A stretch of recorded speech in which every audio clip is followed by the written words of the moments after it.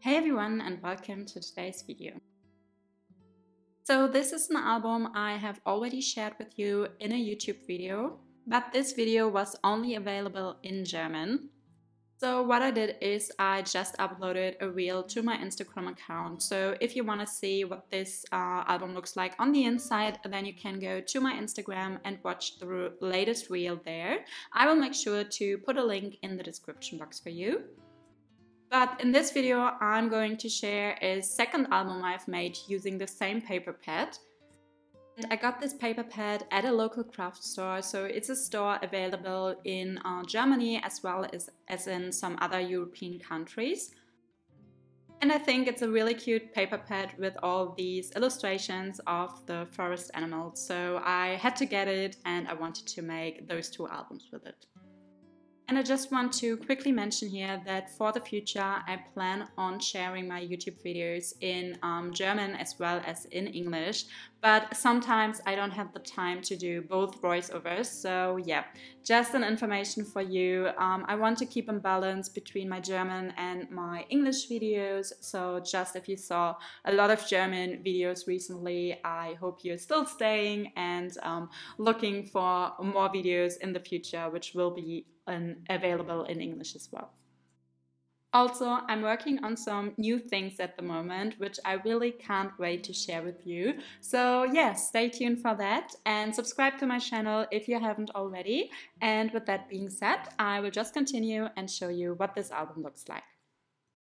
And you have probably read it by the title, so there is a giveaway, which I will talk more about at the end of this video.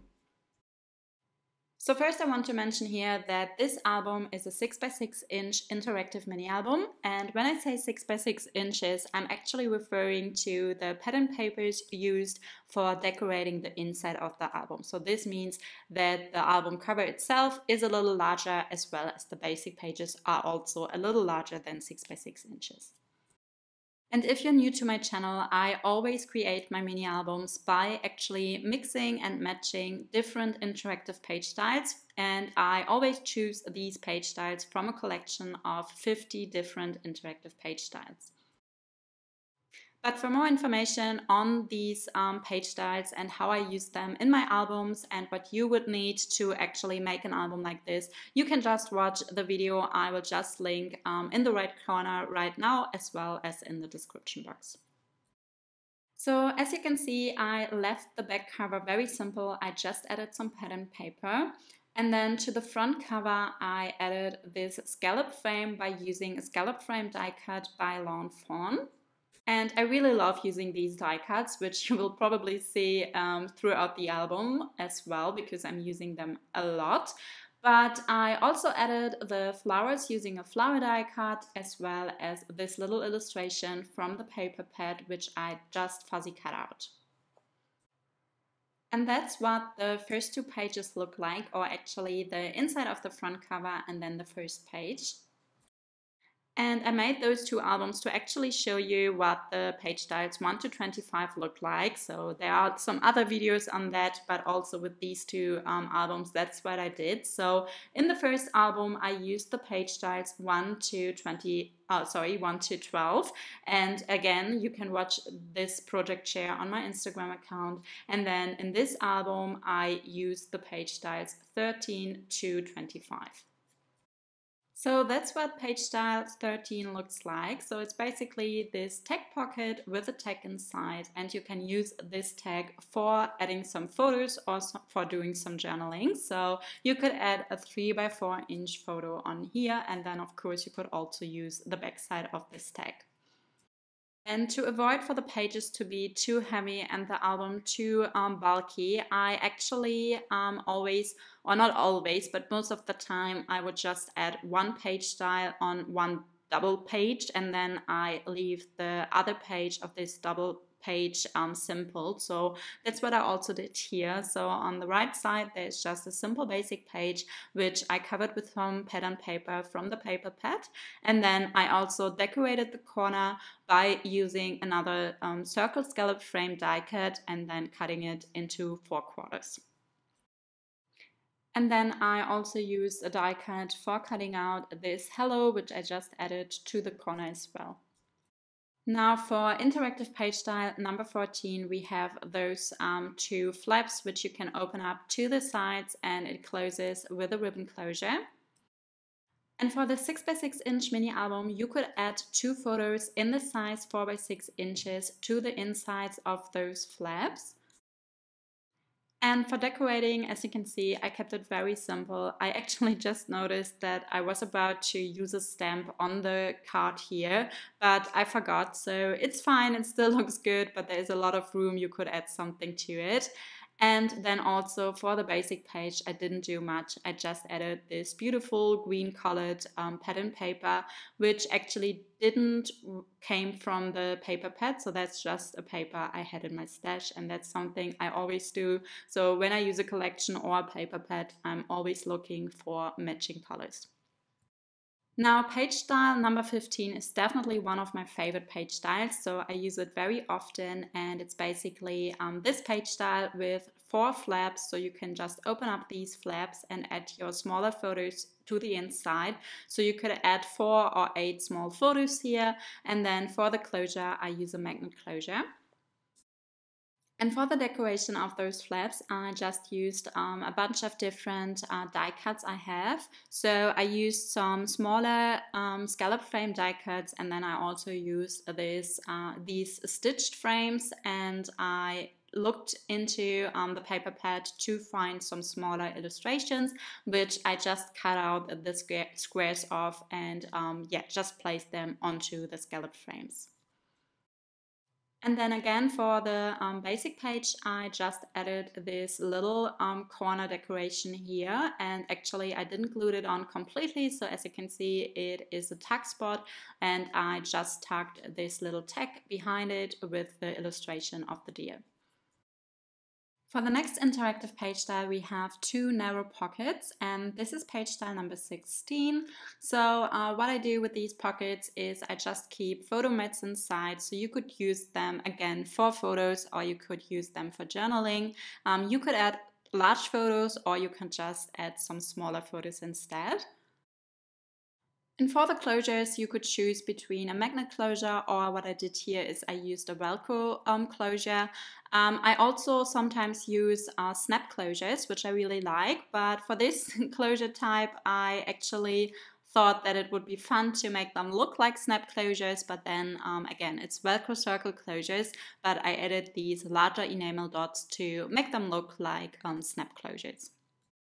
And for the left page, I again just used my scallop frame die cut and added another one of those um, illustrations from the paper pad.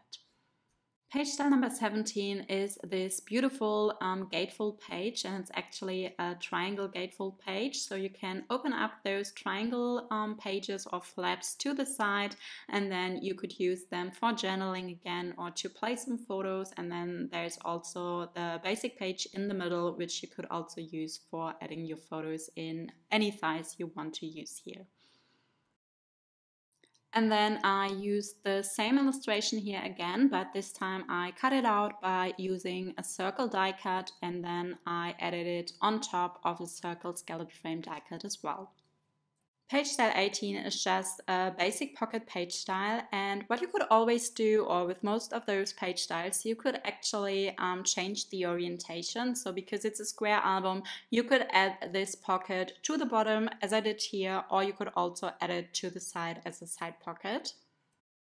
And for, in, for the inside of this pocket, I just added um, a basic um, journaling tag or photo tag as well as a little photo mat, uh, which you can just um, open up and add two photos to. When using page style number 19, you have two larger photo flaps, um, which you can just uh, flip to the side and it's actually four photos in the size 3 by 4 inches. And then you have another two flaps on which you would attach either a ribbon or a string closure.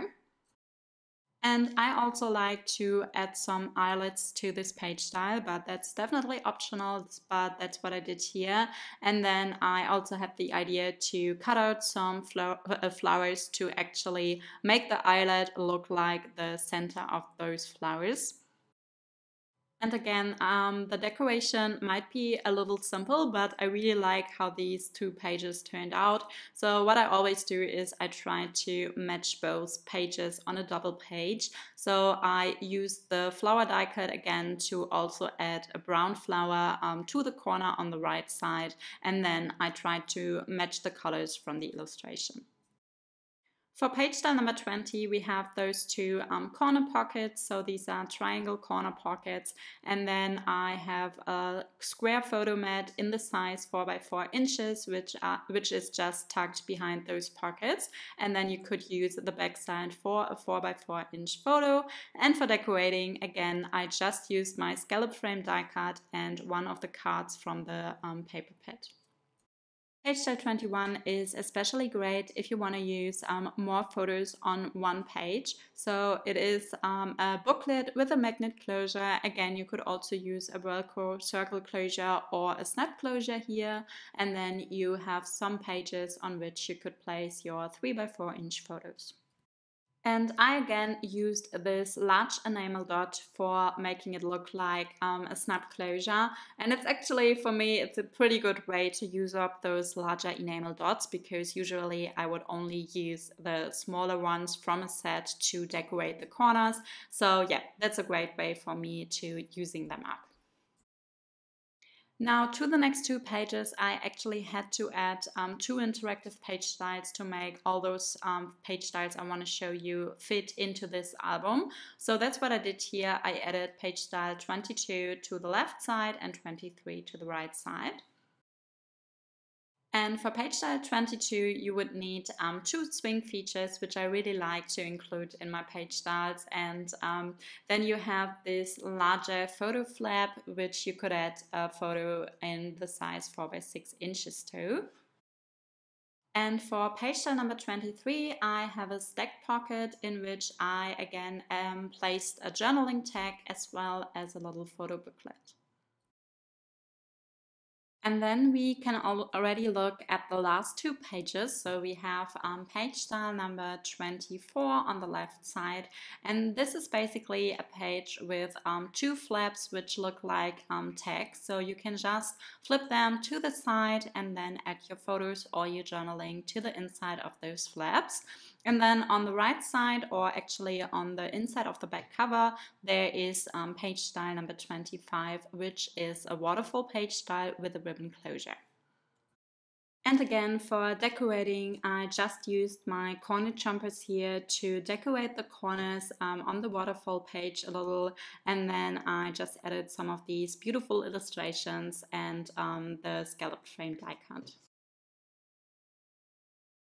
And that's already it for the project share for this album. So I really hope that you enjoyed watching it and that you also like how this album turned out. So if you did, I would love to get your feedback in the comments down below. Leave a thumbs up and also make sure to subscribe to my channel if you haven't already. And now, as I said in the beginning of the video, there is a giveaway. So let me just explain to you how this giveaway works and what you would need to do in order to win one of those prizes.